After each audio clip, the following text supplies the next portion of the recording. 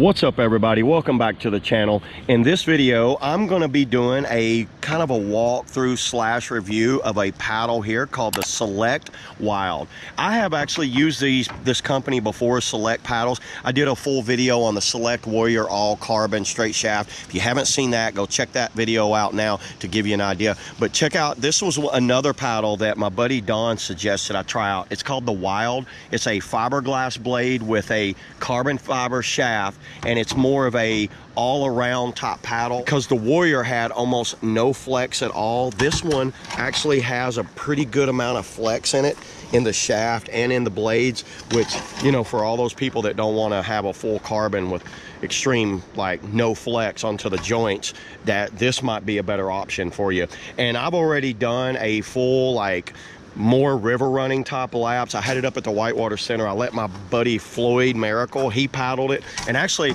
I'll let him tell you what he thought about it right now. So he just did a full lap in the with the Select Wild. What'd you think of the Select Wild?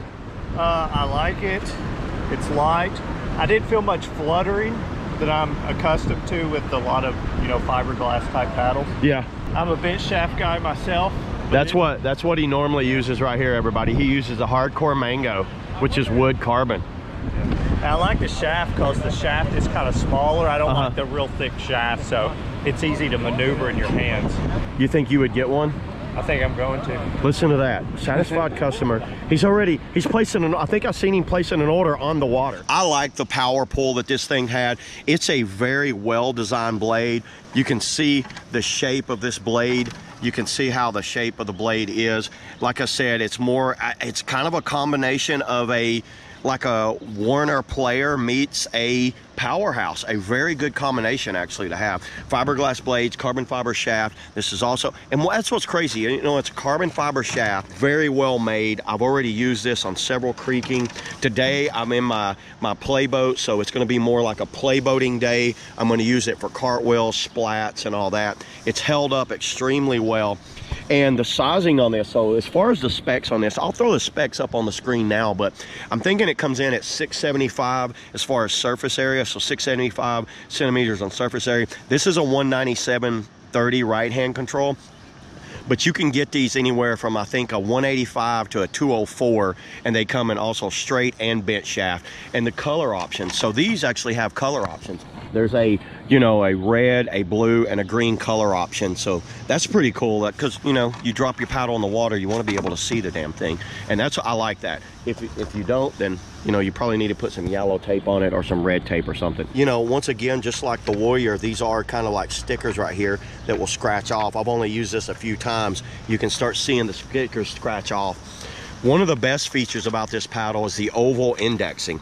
I, everybody that uses it really likes how Select had indexed their, their shaft. It's indexed from about right here to right here. So you can see there's indexing all the way and then it's rounded off there and their shaft isn't overly large either. So it's kind of, I would consider this a mid shaft. Werner has a, I, I have bigger style hands, so I don't mind like a large shaft, but this one feels really good in my hand. This one retails, uh, the straight shaft retails for 250. I'm thinking the bent shafts are and uh, 250 on a new paddle in today's market is crazy. And this one is the NOC demo. So big shout out to the guys at NOC that let me try this out. They do, NOC does have these in stock. And also Don up at High Water Hobbies, he's importing them in and he could get you all you need. So between High Waters Hobbies and NOC, you've got several options to pick one of these paddles up. But I can tell you guys, I don't think you'll be disappointed in going with this route. $250 on a very solid built, it feels indestructible.